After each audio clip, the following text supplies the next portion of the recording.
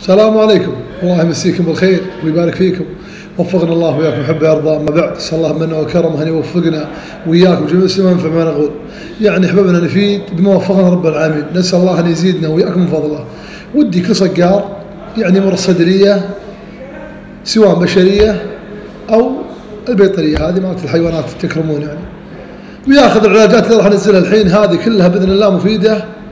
وباذن الله تعالى معينه يكون عندك يعني نفس ما تقول لا قدر الله يصير عندك شيء خلل بالطير له علاج عندك.